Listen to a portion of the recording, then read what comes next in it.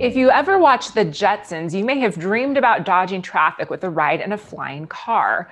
Well, thanks to tech developments in the self driving and electric vehicle space, the dream of flying cars or electric air taxis is getting closer to reality. And many countries are now making investments in advanced air mobility initiatives a top priority. So, what do investors need to know about this growing market? Joining me to discuss all this and more is Robin Lineberger. He's the leader of the aerospace and defense industry practice at Deloitte. So, Robin, you know, when we look at the advanced air mobility space, I think for consumers right now, a lot of the technology they're familiar with are some of these novelty items like uh, the Uber air taxis or some of these Amazon delivery drones. But can you talk a little bit about the significance and the importance of advanced air mobility and how much growth is expected in this market? That's a great question, Alexis, and thanks for having me today. Um, so, advanced air mobility really is, is an ongoing initiative uh, that results from the innovation and application of new technologies to aviation.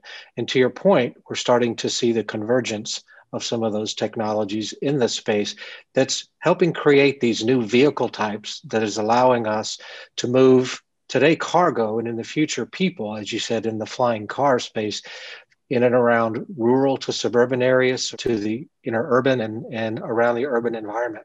It's quite exciting. Yeah, and I think especially you know since we saw last year with with the COVID crisis and the pandemic, just keeping that supply chain moving and intact. You know, how can this technology really enforce that? Well, what it allows us to do is to get out of the, the urban traffic or the suburban traffic and do much more point to point solutions so that as we've seen more people ordering online, trying to stay out of, of, of high touch environments, allows that we call the last mile delivery to happen.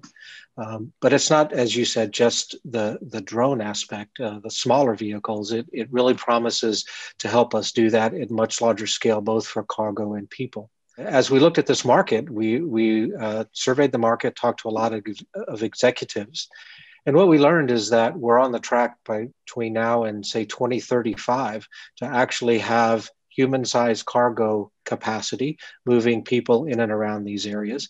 And the market looks quite good. It, it looks like uh, we could achieve $115 billion a year by 2035. And to kind of put that in perspective, that's about half a point on our GDP and would represent 30% market growth in the current aviation space in the United States alone. Yeah, it's an incredible size market. And as you said, it's really a convergence of a lot of technologies that a lot of growth investors are already familiar with, such as 5G, uh, electric vehicles. Uh, can you talk a little bit more about some of those technologies and the infrastructure that would need to be developed for a widespread adoption of, of this air advanced mobility type technology. Absolutely. And, and you really hit the nail on the head. It's about building out the infrastructure today. The technology for the vehicles, as you as you mentioned, is is there, it's being integrated and tested. The next thing we need to turn our attention to is building out the physical infrastructure. That would mean the ground infrastructure, call it a vertiport, the necessary electrical grid in order to feed that, and then we have to put in the infrastructure that would allow us to manage the aircraft, unmanned traffic management systems, to augment the current air traffic management system so we can both integrate the airspace and interoperate these aircraft safely, as well as put new coverage into much lower altitude with many, many, many more vehicles flying at the same time. In order to do that, you mentioned the 5G. That's a candidate technology to deal with the communication side. The more autonomous the vehicles are, utilizing concepts such as AI and cognitive makes the, the traffic management more, more viable. And then when we think about building out the, the communications infrastructure on the 5G is, is obviously another one of those elements of the base infrastructure that would need to be put in place.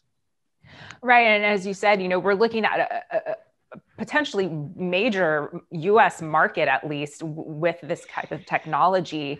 And you know so what sort of investment opportunities do you see in this sector in addition to some of some of the ones that we just mentioned?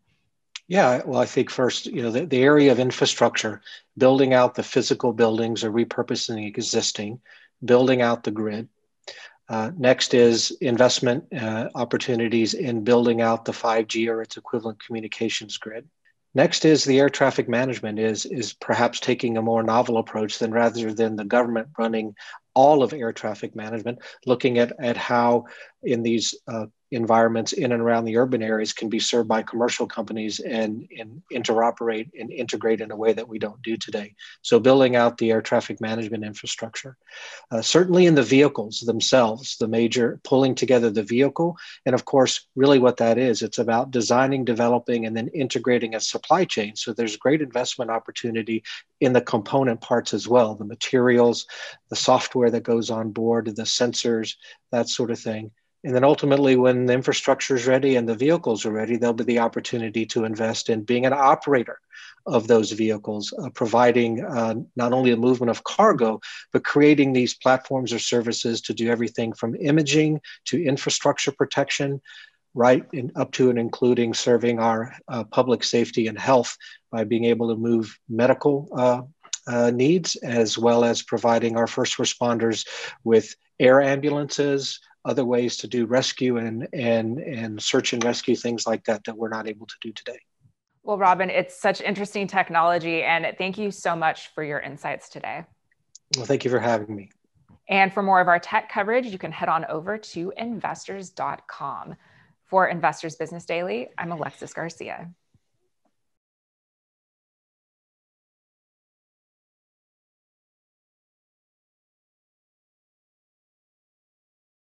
Hey everyone, thanks so much for watching Investors Business Daily on YouTube. If you want to watch more videos, make sure you hit that subscribe button so you don't miss a thing.